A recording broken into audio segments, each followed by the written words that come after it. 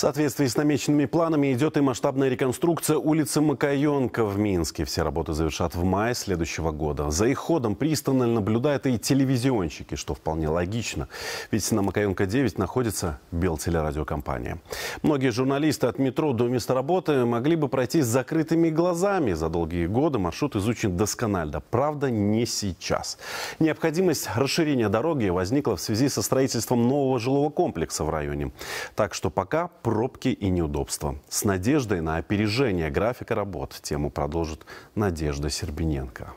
Строительные работы на улице Макаенко начались в мае этого года. Необходимость расширения дороги возникла в первую очередь из-за возрастающей нагрузки на небольшую двухполосную дорогу. Ведь сейчас напротив Белтелерадиокомпании возводится большой жилой комплекс. Макаенко попросту задохнулась бы от количества машин. Проектом предусмотрено уширение существующей проезжей части, доведение до норм дорог э, магистральных. То есть у нас будет по две полосы в каждом направлении с устройством разделительной полосы. Кроме всего прочего, предусматривается устройство тротуаров по обе стороны шириной 3 метра.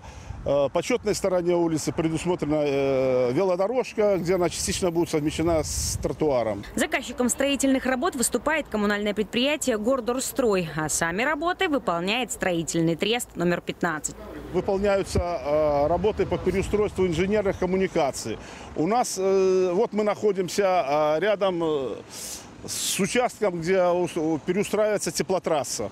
Улица расширяется, но основная сложность связана с тем, что э, движение у нас осуществляется постоянно по этой улице. Прораб на реконструкции улицы Макаенко Петр Нафранович. Он уже занимался расширением улицы Тимирязева, а сейчас работает на телевизионной улице. На стройплощадке под его началом трудится почти полсотни специалистов.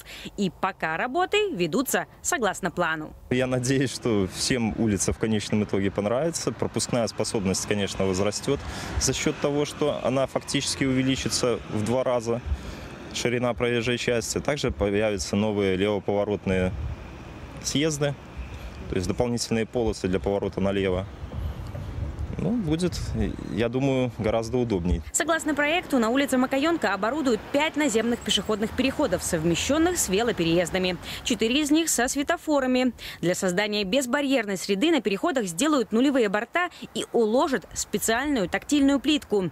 Появится и зона разворота для удобного подъезда к Белтелерадиокомпании. Макаенко 9. Это своего рода уже телевизионный бренд. Ведь именно здесь еще в 80-х появились два здания Белтелерадиокомпании. 20-этажный столбик виднеется еще с проспекта Независимости. Вот так. Издалека можно увидеть место, где каждый день создается белорусское телевидение.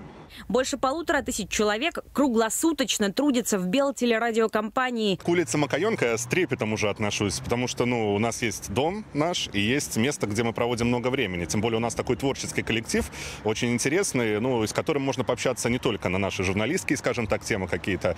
Э, и вот когда я слышу где-то название Макаенко, у меня сразу чуть-чуть учащенно начинает биться сердце. Все работы на улице Макаенко строители рассчитывают завершить в мае 2019 -го. Этого момента коллектив Белтелерадиокомпании будет ждать особенно, чтобы увидеть свою улицу во всей красе. Надежда Сербиненко, Юлия Воробьева, Виктор Шпак, агентство теленовостей.